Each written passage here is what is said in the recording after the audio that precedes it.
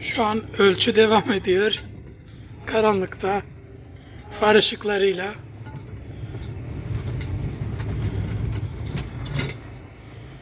Evet.